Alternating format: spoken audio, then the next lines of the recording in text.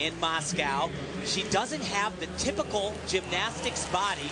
Her longtime coach, Boris Pilkin, who she credits with being her savior, turned a negative into a positive. The long, lean body style, he said that that can make you special, Svetlana. A 9.65, and for the Russians, that's more like it, but last place almost makes you want to look twice. And then look again at seventh place, China. Spain, an unlikely leader, followed by Romania and the United States, a team that has to be thinking about the possibilities. Right now, it's a jumbled world, and still any other team could make a major mistake. Next up on the uneven bars, the Romanian women in the World Championships of Gymnastics. Back in Anaheim, California for more of the World Championships of Gymnastics. This is the team competition, and we have a major chalking operation going on with the Romanians right now on the uneven bars. What's going on? Well, you know, every gymnast, every team likes the bar a little bit different. Some of the athletes are putting a sugar and water or a honey solution on the bars. Some of the athletes like a lot of chalk on the bars. Some of the athletes like no chalk on the bars. And this competition there is no one-touch warm-up, so a lot of that would have gotten done in the one-touch warm-up. The Romanians, I can't believe how long they've been doing this. The head judge, I'm surprised they didn't tell him, hey, stop, you got to go. To the vault.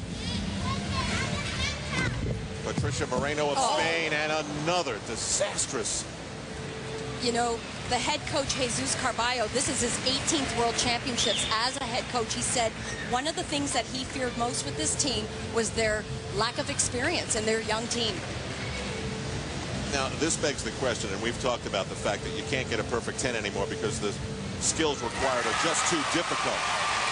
Are they too difficult for this generation of gymnastics? No, I don't think so. They are very, very difficult, but there are athletes in the world that are capable of pulling them off. Like Elfi said, it is a very young team. They don't have the experience. Alexandra Eremia of Romania. Romania in second after the first rotation. And you know, they could post some fairly decent bar scores. Traditionally, they have not been really strong on this event. Tim and I have both been impressed by how they have upped their difficulty. They look so much better. To put it into perspective a little bit, at the last World Team Championships, oh, and there's a small error right there, that pause. The Romanian team did not have one athlete make it into the nines. And this is unbelievable. You know, they have improved. As Elfi said, their angles are a little bit better, but they are not tremendous on the uneven bars. What they needed to do was come out there and rock these sets. Two big steps on the landing, that pause. Doesn't this look like it should be the year after the Olympics as opposed to the year before? I think this is one of the first times that I can remember in a long time having to get to know so many new faces, like you said, Al, the year before the Olympics. Usually that takes place the year after the Olympics. You have three years to build your team. Next up, Florica Leonida. Uh, by the way, the score for Eremia or for Moreno, Patricia Moreno of Spain was an 8.462. So now Russia has to absorb a score in the sevens. China has to absorb a score in the eights, and so does Spain. That's got to cost them first place here, barring something unforeseen and almost catastrophic. Yeah, that'll knock them out of first place. Bellu, the head coach for Romania, very outspoken. He does not like the rule changes. He doesn't like three up, three count. He doesn't like no one-touch warm-up prior to the team finals. Thinks safety-wise it is not right. This young lady, unquestionably on this team, the best bar worker, worker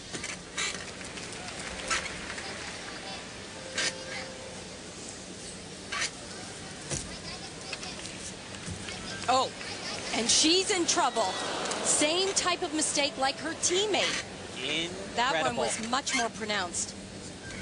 Now, so far, this is not a matter of someone winning the World Team Championship. It's a matter of countries losing the World Team Championship. Yeah, this is this is remarkable. That skill that she missed, she was off on the transition from the low bar to the high bar. But the skill that she actually missed, many athletes learn that the first year they're competing. I mean, you got seven-year-olds that are doing this element She hit all her big skills, but it's right here, the transition from low bar to high bar. She gets in real close and muscles, muscles that kip up. One of the most basic skills in gymnastics. A value, a kip. She's never missed that before, I can guarantee you. So an 8.987 after a 9.025 from Eremia on the uneven bars, and now the Romanian team in major, major jeopardy. I tell you, that, that bodes well, extremely well, for the USA. Romania did not score well on the bars. USA has a very strong team here.